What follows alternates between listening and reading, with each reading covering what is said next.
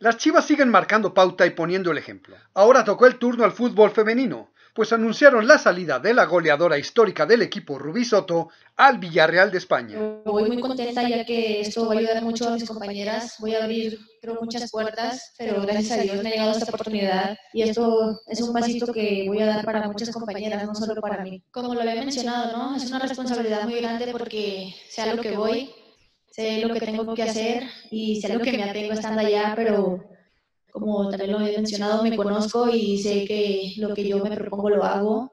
Tengo una ley de la atracción demasiado grande y, voy a hacer grandes cosas. No quiero decir que, que, voy a ser como ellas, sino que quiero ser mejor persona y mejor futbolista. Y siempre voy a romper barreras y romper lo que hay en mi camino. La verdad, nunca pensé que esto me llegaría tan pronto.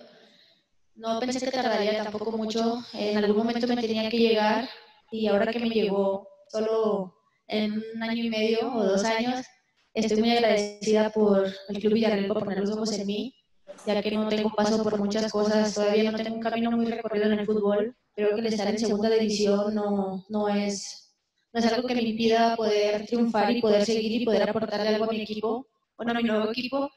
Y ojalá Natalia llegue a primera división ya sea con el Villarreal o con cualquier otro equipo, pero más que nada ahorita es aportarle todo lo que sé y todo lo que tengo y lo que voy a estar por aprender con el Villarreal para llegar a ser como lo que aquí en Chivas, marcar una estrellita ahí y poder hacer historia también. El fichaje de Rubí se convierte en la primera exportación a Europa por parte de la directiva rojiblanca, esperando con esto poder establecer un camino para el crecimiento y desarrollo del fútbol femenino.